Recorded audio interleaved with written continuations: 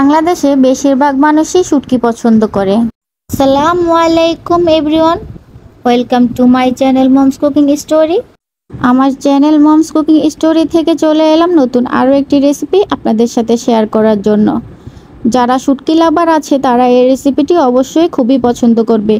এই গরমে মাছ মাংস খেতে ভালো লাগে না, তাই মুখের স্বাদ ফেরাতে এই রেসিপিটি খুবই কার্যকারী একটি রেসিপি।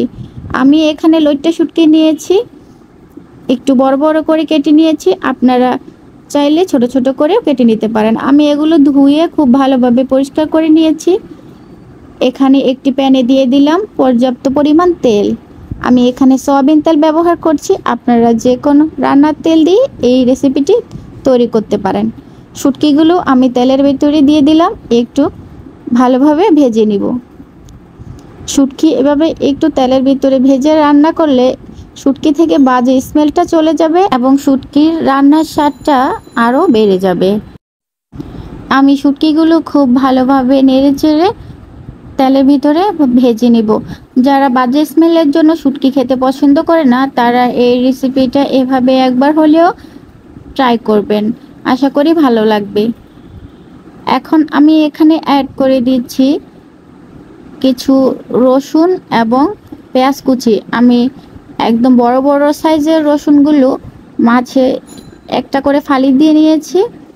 আর হচ্ছে পেঁয়াজগুলো মোটা মোটা করে কেটে নিয়েছি। এখন এই শুটকির সাথে পেঁয়াজ এবং রসুনগুলো আমি ভেজে নেব। এখন আমি এখানে অ্যাড করে দিচ্ছি দুই তিনটে তেজপাতা। তেজপাতা দেওয়ার কারণে শুটকি এর থেকে সুন্দর একটা ফ্লেভার আসবে। খেতেও খুবই ভালো লাগবে।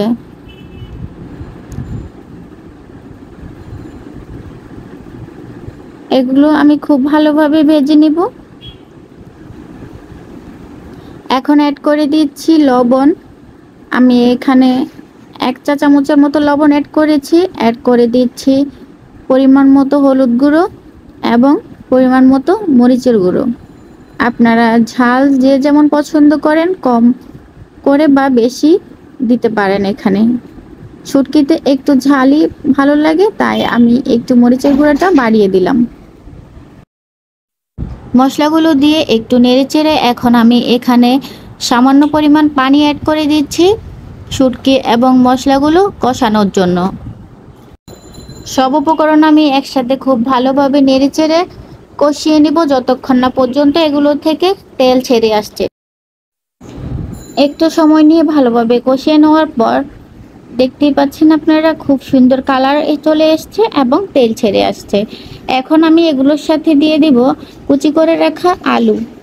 আমি এই শুটকিগুলো আলু দিয়ে রান্না করছি। আপনারা চাইলে পেঁয়াজ এবং রসুন আরেকটু বাড়িয়ে দিয়ে এই পর্যায়ে এরকম ভুনা ভুনা করেও রান্না করে নিতে পারেন। এই যে আমি এখন আলুগুলো অ্যাড করে দিচ্ছি। আলুগুলো আমি আগে থেকে কুচি করে খুব ভালোভাবে ধুয়ে নিয়েছি। আলুগুলো আমি একটু মোটা মোটা করে কুচি করে নিয়েছি। এভাবে করলে শুটকি রান্নাটা আরও খেতে ভালো লাগে। এখন খুব ভালোভাবে নেড়ে চেড়ে আমি সব উপকরণের সাথে মিশিয়ে নেব।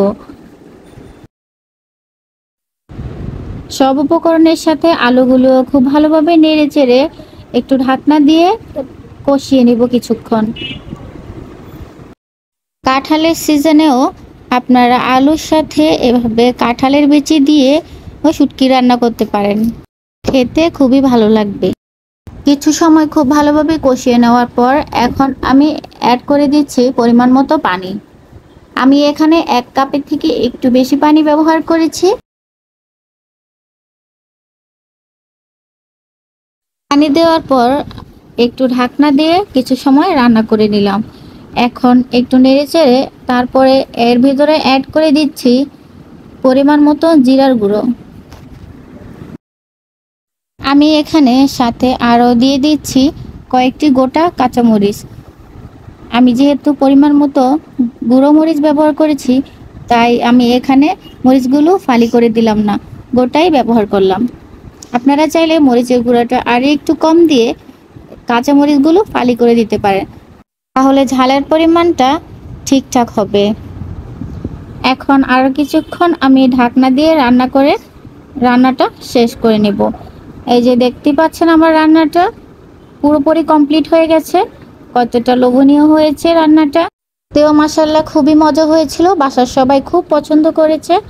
আপনাদের কাছে যদি আমার এই ভিডিওটি ভালো লাগে, তাহলে আমার ভিডিওতে একটি লাইক দিয়ে চ্যানেলটি সাবস্ক্রাইব করার অনুরোধ রইল। ভিডিওটি দেখার জন্য সবাইকে অসংখ্য অসংখ্য ধন্যবাদ। আজকে এই পর্যন্তই। আবারও আসব নতুন আরও একটি রেসিপি আপনাদের সাথে শেয়ার করতে। সবাই ভালো থাকবেন, সুস্থ থাকবেন। আসসালামু আলাইকুম। আল্লাহ হাফেজ।